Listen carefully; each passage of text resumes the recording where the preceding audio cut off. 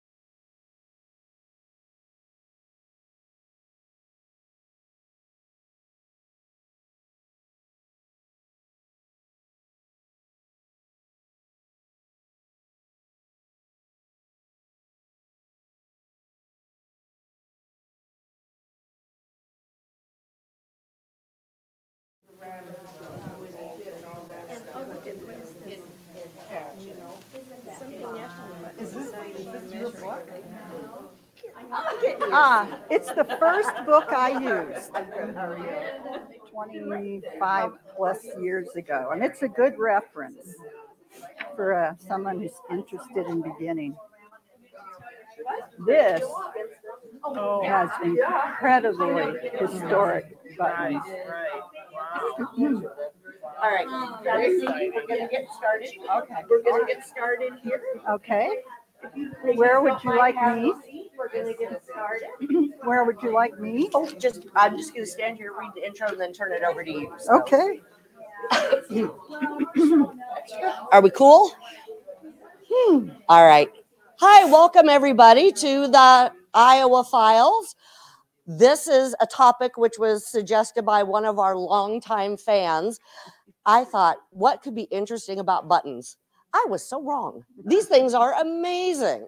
So, uh, the Iowa Files is brought to you thanks to the West Des Moines Public Library, our members and donors. There's a donation box down there, hint, hint. Um, uh, EMC Insurance Foundation and the Iowa Arts Council all make the programs and the streaming possible. So, Karen Leibold has been into buttons for a very long time, and her journey started with a ginormous pickle jar full of buttons that her mom got at an auction My great aunt Glenn's estate auction. and has ended up with her just receiving her 25 year ribbon from the National Button Group. So she knows her stuff. So, with very little further ado, I would like to introduce Karen Leibold. Thank you. It's great to be here and motivation to put together this program. We will start with Iowa buttons. Um, all buttons are just simply fascinating. Fasten, fasteners.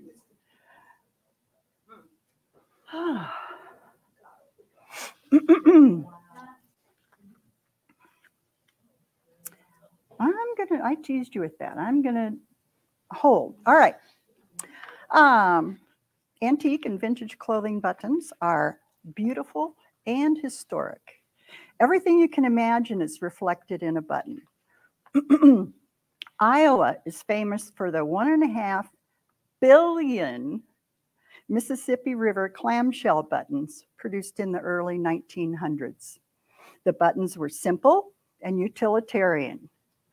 Their cards, which were on the previous slide, are very fun to collect with their graphics. And this card of buttons is about as fancy as uh, Iowa buttons ever were. They're simple, utilitarian, made from clamshells. Any collectors in the group? Are any of you collectors of anything? and everything. All right, this hobby's for you. These images reflect the types of things that have attracted many people over the years. Textiles, the 60s, uh, carousel horse, mid-century mod, Danish uh, uh, teapot, depression glass, railroadiana. I will point out that uh, that's Clive. My husband is a model railroader, and he put this together, modeling Clive in the 1920s. Swanson House is right there, and that's Clive's historical uh, museum. uh, you can view it through the, the windows, so you can stop over any anytime. Uh, Tamara, pleased to meet you. Rebus is militaria and guns. How do you connect guns to buttons, you ask?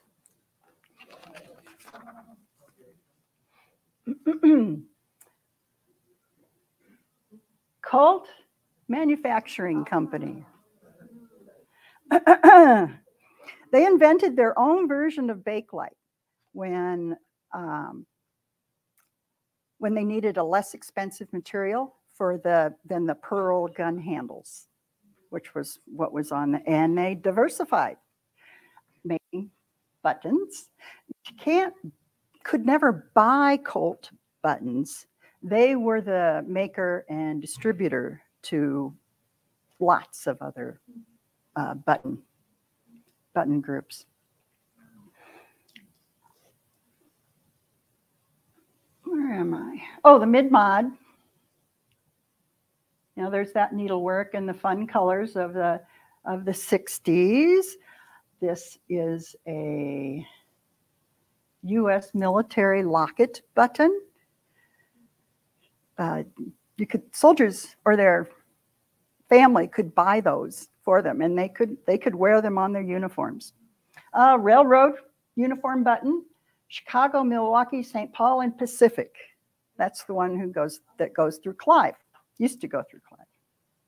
And a rebus. Time flies. My, how time flies. And then the V button, the victory button, uh, World War II home front. It's painted and buffed celluloid. V for victory. What's the Morse code for V? Dot, dot, dot, dash. Dot, dot, dot, dot. Every topic imaginable. The study of buttons is so interesting because of the intersection of histories history of manufacturing, society. This is a suffragettes button, suffragette, one of the suffragette colors. There were multiple suffragette groups that used different colors. The Beatles, see the beat? Oh, it's a beetle with music the Beatles. Uh, she, seashells. Uh, that's a molded glass. The sea creatures are painted on the back. Mythology, all kinds of, of mythology and stories. This is Merchant of Loves or Loves for Sale. The, um, the notion of capturing or purchasing love through Cupid sellers was popular in ancient Rome literature. um, commemorating history, there's Queen Elizabeth II. And I said every topic imaginable. Every topic Yes, even risque topics.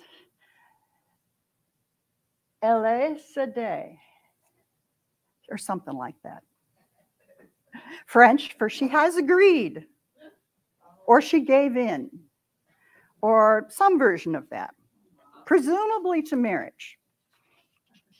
Uh, so trends and issues of the times are reflected through buttons, including political, George Washington inaugural button, see the uh, 13 colonies, that's large button. the early rubber button, I don't remember if it's backmarked Goodyear, but Goodyear um, vulcanized, the, the developed the vulcanizing process and we got buttons out of that. Uh, dueling frogs, it, it's something derogatory about the Frenchman. And then Teddy Roosevelt. A button actually saved the music. Here's a quick account. Um, Handel's fellow performer, uh, his last name was Mattheson, his account is most enduring. He recalls that it could all have ended in tragedy, a duel they were had, had God's guidance not graciously ordained that my blade thrusting against my opponent's broad metal coat button should be shattered.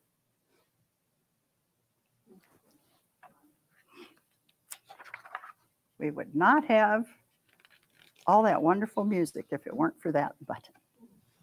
Oh, and another reason, another thing, buttons, they're just gorgeous. These are all fairly large.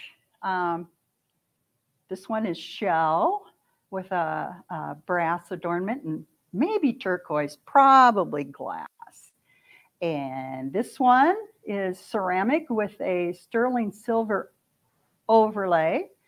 And there's some symbolism there. The rose for lo- love, the forget me nots for forget me not. And I don't remember what, what the other one was. This one is enamel. It has little foil paillones. Butcher my French. um, lovely old button. Um, late late 18th century, early 19th century.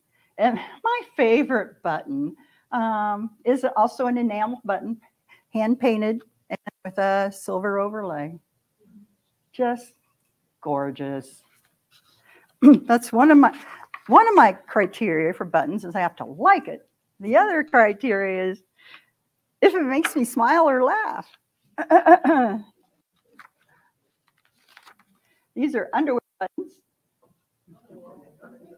Yeah, there's a Pioneer utilitarian button. Um, a little more about that. And this is a, a gal in Iowa makes those. Big leather button. She paints the eye and everything. Okay, a bit of a rest from eye candy. Poet John Keats was right. A thing of beauty is a joy forever. To the uninitiated, buttons are merely indispensable fasteners. But as one studies them, buttons begin to reflect the social, artistic, and economic history of their time and place, and um, of their manufacture and use. The study of buttons also focuses on what they were made of. Buttons have been produced from almost every known natural and man-made material. The materials used are, are an indicator of how old the button is. As technology and, and chemistry progress through the, through the ages, the, it's fun to see that the buttons, they tried to imitate the natural materials. Um, cotton, obviously for cotton fabric, but also the cellulose which is important. Oh, and hoof and horn. And this is a tagua nut, vegetable ivory, and tortoise shell, and a little friend.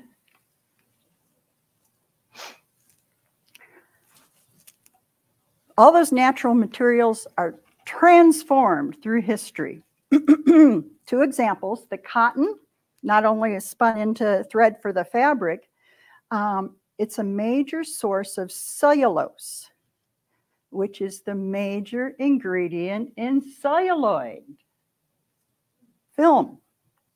Same thing with rubber. Um, the vulcanization process introduced tires and buttons. That would have been the 1860s. A brief history of fasteners.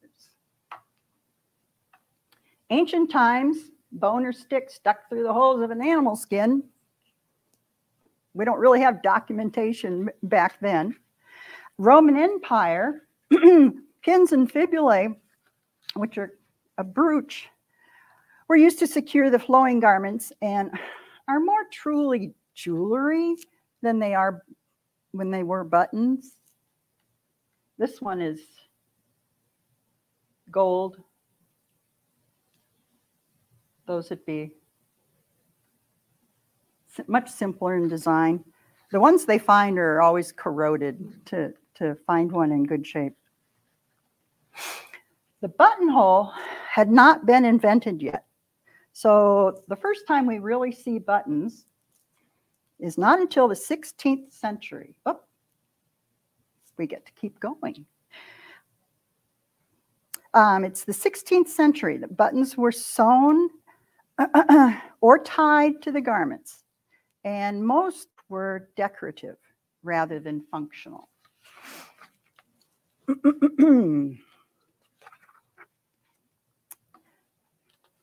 Have you heard of the field of cloth of gold in 1520? I had not. It was when Francis I and Henry VIII met for the first time. $20 million was spent for this two week celebration of these two heads of the country getting together. Francis I wore a coat with 12, 13,600 gold buttons. They weren't fasteners, they were just decoration, but they were in the form of a button. At this event, this is a, a painting that they think um, Henry commissioned. imagine, I can't imagine this 12,000 royals, nobles, attendants, and servants gathered in the fields on the northern tip of modern day France between English held Guînes and French held Ardres, where they enjoyed nights of revelry in enormous temporary palaces of brick timber, canvas, and glass. The things you learn buttoning. the 18th century was the golden age of buttons. Uh, generally, they're jeweler made and large, and in the beginning, worn by men, showing things off. This is a detail whoop, of a costume belonging to Axel von Fersen, worn at the court of Versailles, probably made in Paris about 1685. The theme of the world upside down, I'm sorry.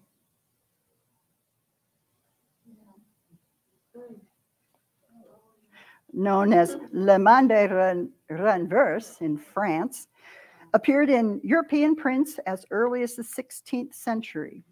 The English term topsy-turvy, meaning a disordered state of affairs, also dates from this time.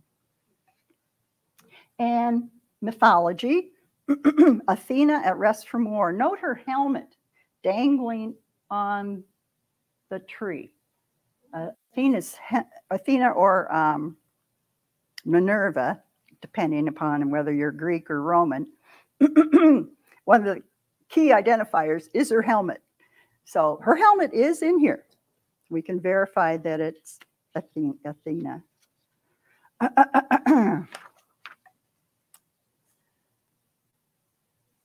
Another interesting 18th century phenomenon. This is the character of the young blade Beau Brummel. Blinded by the light of these flashy buttons, excess of the uh, times. I won't sing for you. Blinded by the light. The 18th century uh, courtiers' taste for buttons is what spurred the height of handcrafted button art. The industrial age. Parts and more parts. Buttons are no longer handmade. They're hand assembled, and maybe some of the parts are handmade.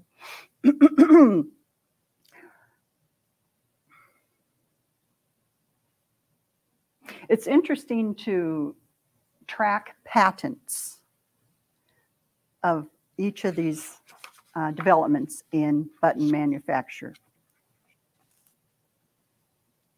Early 19th century, a perfume button. Back to that. The button sizes I want to mention are not great big ones anymore. They're more like an inch is pretty standard. So that's one way to date a button. Women had joined in the visual display of social status, which is exactly what it was. the I'm not going to say that here. The perfume button has um, cotton or it could be an asbestos fiber stuffed in there to hold the um, to hold the scent. Early 1800s. How was this? How did the world smell? Walking down the street of London. Yeah, so fumes. There is another type of button developed at the end of the century and used clear into the 20s. they're usually much smaller. They're they're easy to find. They have velvet background and then some sort of a design. Legend has it, and they are called perfume buttons by most everybody who knows about it. But we've never been able to verify that, in fact, women used these buttons for that purpose. um, I have found some that were disintegrated, and if you put perfume on that velvet, uh, yeah, over time it would disintegrate, but generally they wear pretty well.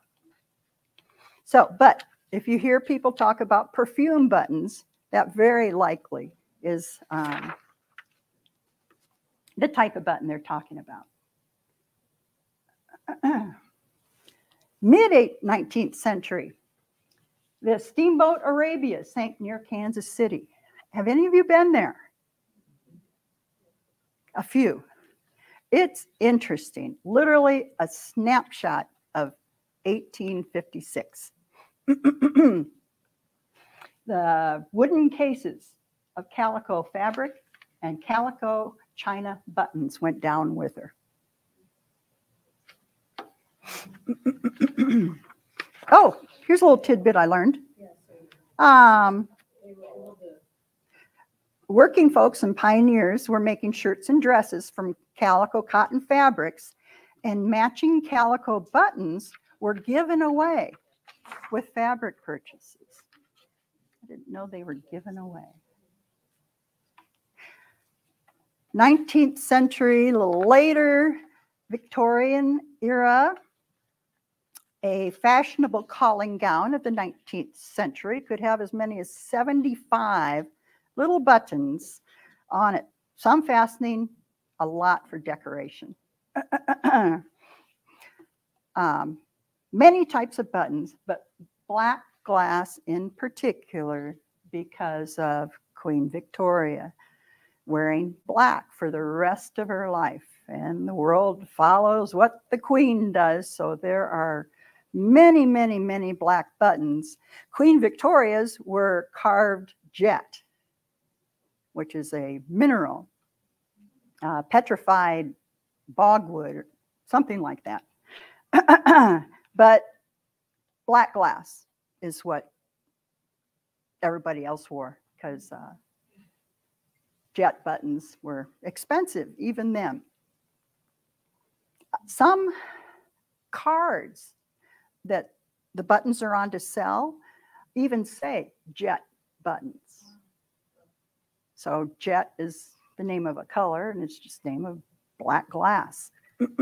now on to the 20th century.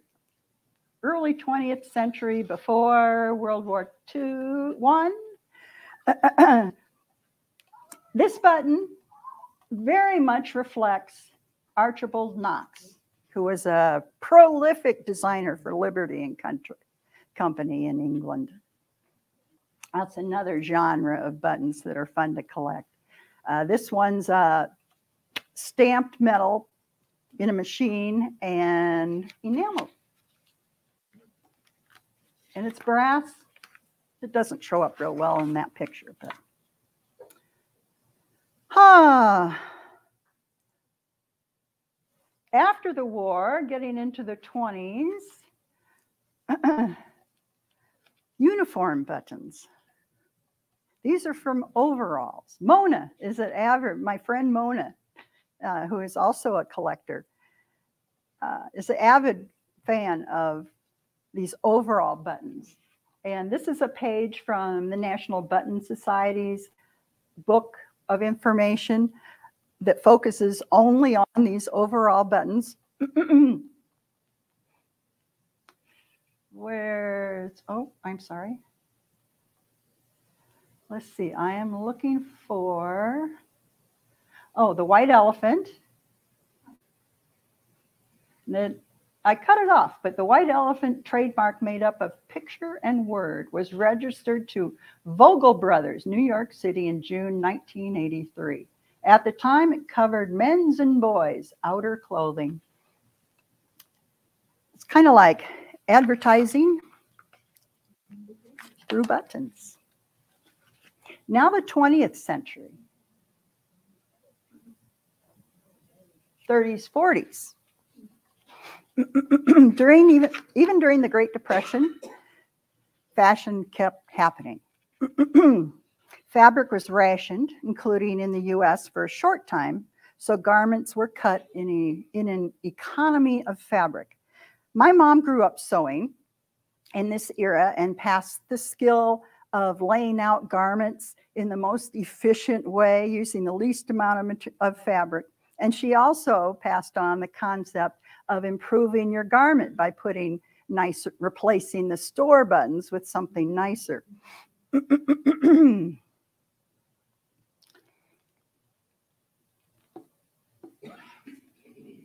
Eliza Schiaparelli. Are those buttons crazy or what?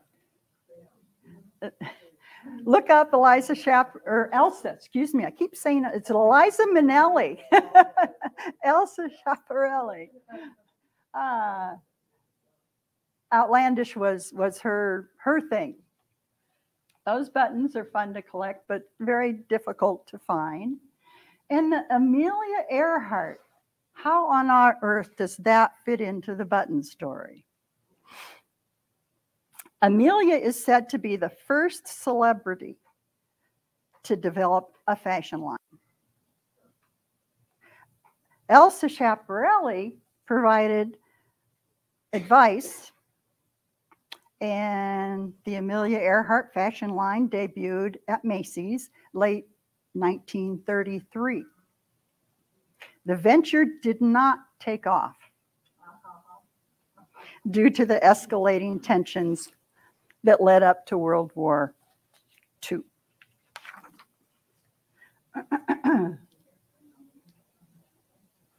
okay, after World War II, it's time for fun. Put the wartime chemistry advances to use. Trifari jewelry designer Alfred Philippe um, designed these animal buttons. Originally, they had rock crystal bellies in them and were um, sterling silver plated in gold. Gold vermeil, I think is what it's called.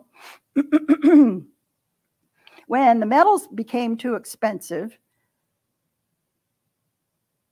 they switched to using acrylic cabochons.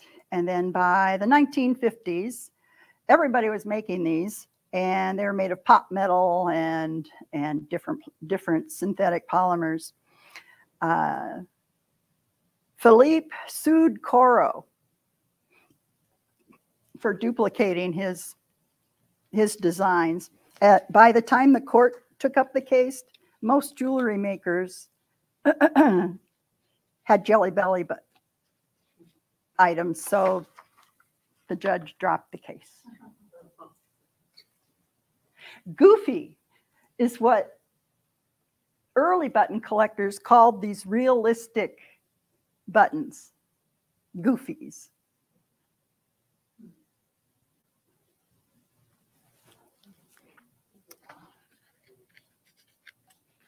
More fun. The bling on dressy occasion of the 50s and, and 60s, some. Um, the focus of fashion was moving toward the fabric rather than the buttons.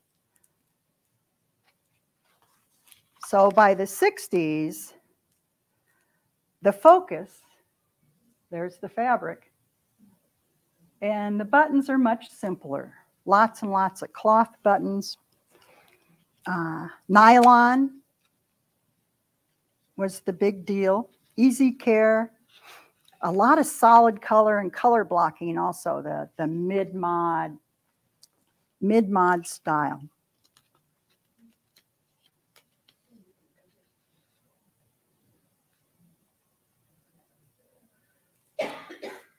I'm going to leave that where it is and mention a few other things.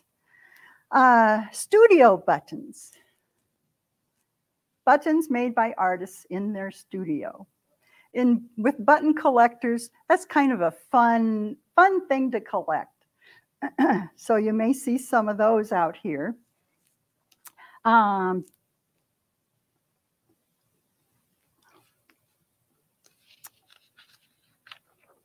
yeah, I was going to close with many people have a tin or a jar of old buttons. If they were your grandmother's, or better, your great grandmothers or great Aunt Glenn's, in my case, there could be some that really tell a story.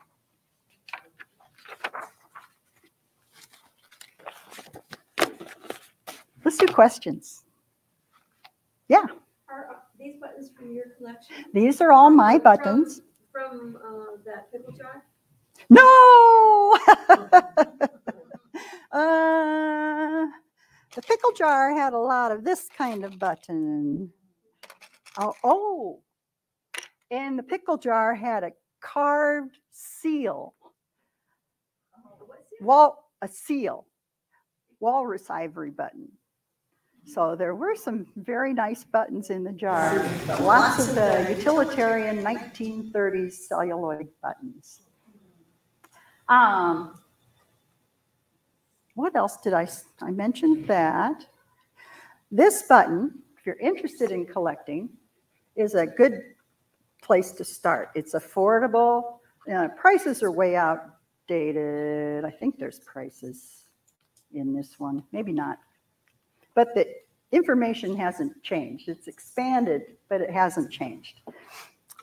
This, on the other extreme, is a calendar from 2006. And we were calculating doing the every seven years of- of a perpetual calendar that it, it won't be good until 2024, four, something like that. But I definitely keep it because every page has an incredible, mostly 18th century button and information about it. This book was written, this uh, calendar and a couple books were written by Gary Brockman, who was a uh, writer. I can't, my brain's not clicking for uh, one of the encyclopedia countries. Master wordsmith, knowledge is beyond. It's really fun to, to hear um, button history from him, and that's what that's what this is. Other questions? Um, There's a button society that commanded Ames. Yes. What happens in it? You get that one. Thank you for the segue. we hold a button show every year, except for COVID. Um, the Iowa Button Society show is June 8th, 9th, 10th in Ames. So pick up a flyer. There's information on, on the back. The program is Friday night, and it's going to focus on shoe buttons the woman who's presenting it's family were involved in shoe buttons, making shoe buttons. And we'll even have a couple of the, the tools they use to fasten the shoe buttons to, to old shoes. And there'll also be, along with shoe buttons, the sh- button hooks. Ah, There's some amazing ones out there. I have one that I love that's agate, banded agate. Be sure to pick one up. Open, open, best time to come would probably be during open showroom times on Friday from one o'clock to I think five o'clock is when it's open. And then the program is usually at seven. And then, um, yeah, it's a fun way to, to meet people that have this crazy affliction of collecting pretty little things and things that make you laugh. yeah. How do you go about getting started collecting buttons? Where do you find the buttons and are there some that are obviously more valuable than others? Very much so. Where do I find the buttons? How do I know which ones are the good ones? Most of the buttons, the really nice buttons, are in the hands of collectors. The uh, button collecting hobby started wartime 30s as a way to make money. People who had nice buttons, because everybody saved buttons to be reused or um, sold those buttons for some income. And so most of the old stashes have been have come out and now they the buttons circulate amongst collectors. So button auctions, internet, uh, button shows, are ways to find buttons. In the in the antique world, you do occasionally find some. And that if you like the thrill of the hunt, literally, and the and the thrill of a find in a in a jar of buttons, uh, that happens. Not as often as I'd like anymore. uh, how to get started? Leave your name, and we're going to do another another session focusing on people that are that are interested in learning more about collecting buttons. Yeah, I have a question on that table over there, there's a, one of your friends has, um, buttons that are cloth covered, but it like, one has what looks like a cubby sock on it and different, the ones with a and each one's a, a particular picture. Were those, um, was that done to match the garment probably? Like if you're gonna reindeer garment, you do. Is this the one you're, you're thinking of? Yes, and so they were doing like a little ship outfit or. No, how no. this come to be? Ties, What is, men's ties. oh, so they just made them into a button then? Yeah, Oh, really? yeah, and people have been doing that forever. Um, Just, just for the sake of collecting? Yeah. To preserve the. pattern. Exactly, Wow. exactly. That's what the National Button Society is all about, is, you know, not just collecting them because they're pretty, but, but preserving them. Sometimes really nice buttons get put in jewelry and essentially their historical value is destroyed. So education is a a big part of the National Button Society. So people don't cut, go cutting the shanks off the buttons.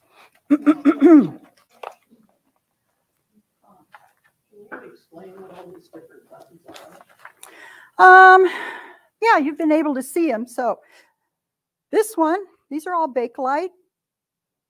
Or the Catalin is the another brand of the same kind of composite.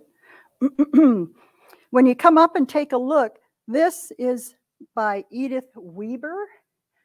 She had a line of jewelry, brooches. So any jewelry collectors in here might recognize that name. And uh, she did buttons too. They're fun. these are all, most of them are celluloid, and clearly black and white was a fashion, fashion trend. Bling from the 40s, 50s, and some of those are newer. I just like to put the bling together. these are wood, and the stock, the clock up here is not old. One of a button dealer ordered those because when you're putting together a competition tray, I haven't talked about competition yet, have I? Does that seem crazy? Um, just like stamp collectors, mineral collectors, those are the two I know of offhand. Huh? Paperweight collectors, they have they may not call it a competition, but they have rules and you put together an assortment and there's even judging, A, to see if you did it right. so that's that's knowledge. Um, and B, just to show your um, expanse of the knowledge of that topic or that button material. Eh, When you're collecting, you're trying to find representations of all different little little factors. You can see that in, in this one. You want animals, you want a thing, you want Oh, maybe this this was just a fun trade. That one's not a competition trade. So that's not a very good example of, of competition. Okay, did that one. This one is leather. There's an award for leather buttons this year at the Iowa Button Show. So I gathered all my leather buttons and put them together. These are just an assortment of buttons. Come up and take a look when we're done. Amazing. Horn, women, and deluxe shell buttons. These are not your Mississippi River, Iowa buttons, but I love them. There's a little birdie carved in this one, and there's a nest, and it's brushed with gold, filling the, the engraving lines, and also some some other colors. the intricacy is is crazy. Anything else in particular right now? Yeah. Is there any like place that you can send off a button to be like authenticated or praised? Like, Yeah, there are button dealers that do appraisals. Um, I can give you names if, if you're interested. And button, there are button dealers and collectors that buy entire collections. Um, putting a value on a button. The factors that increase the value are, of course, age, Condition. condition, rarity, but then beyond that, complicated construction.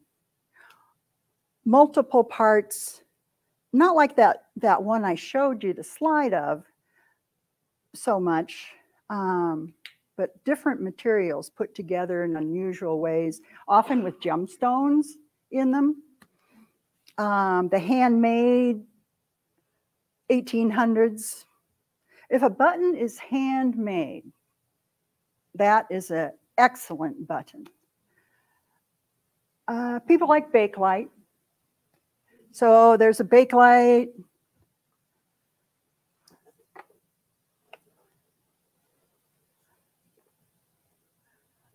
This little Bakelite horse's head has a leather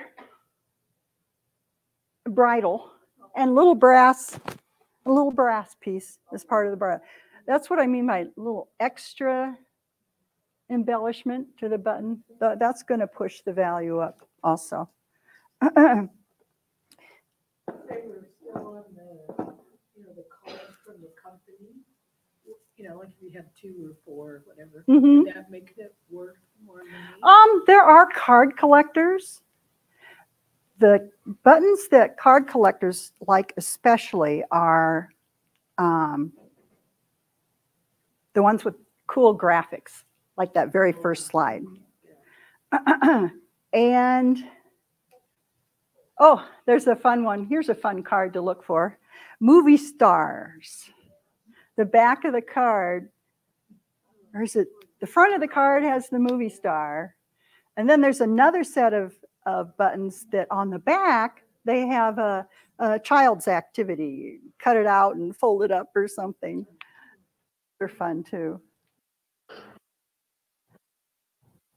Fun. Well, thank you very much for coming. Wonderful questions. Do come up and take a look. And a fun thing in button collecting is a poke box.